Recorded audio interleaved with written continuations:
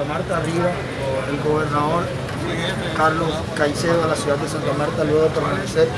varios días por fuera del país.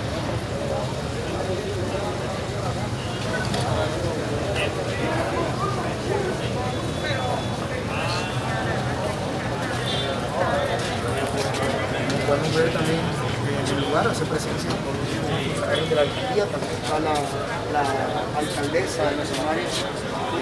Virna Johnson, como también su gabinete eh, de gobernación y también los secretarios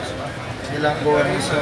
del Magdalena, también hace presencia la Policía Metropolitana de Santa Marta, algunos amarios que vinieron a darle la bienvenida al gobernador del Magdalena, que como hemos dicho, eh, permaneció por varios días